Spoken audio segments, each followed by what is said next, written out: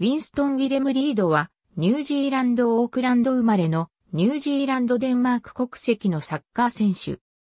ニュージーランド代表。ポジションはセンターバック。現在はプレミアリーグのウエストハムユナイテッド FC 所属。1988年ニュージーランドのオークランドで生まれ10歳の時にデンマークに移住する。両親はマオリの血を引いている。デンマークスーペルリーガの FC ミッティラントのユース出身で17歳の時に同クラブのトップチームでプロデビューを果たす。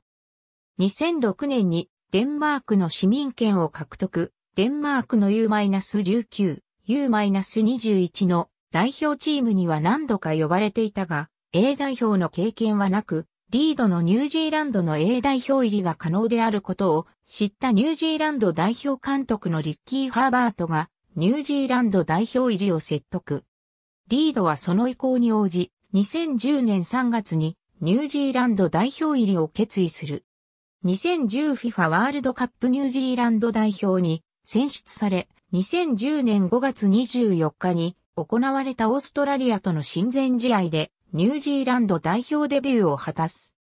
南アフリカワールドカップのスロバキア戦では、ロスタイムに劇的な同点ゴールを決め、ニュージーランドのワールドカップ初めての勝ち点獲得に貢献。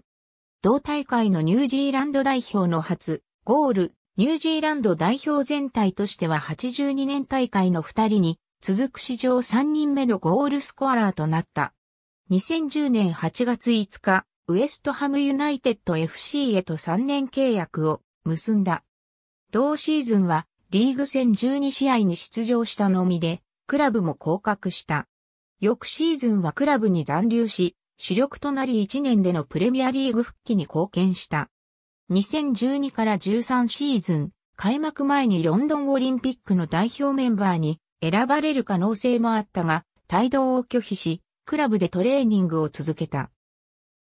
契約は最終年に突入していたが、2013年5月に2年間延長した。8日には、ウエストハムのシーズン最優秀選手に選出された。2013から14シーズンもセンターバックの主力を務め、10月3日のトッテナムホットスパー FC 戦では先制ゴールを記録。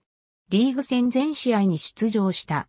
2014から15シーズンは契約最終年ということもあり、10月にリバプール FC 獲得に興味を持つも残留。3月に6年半も契約を延長することに成功した。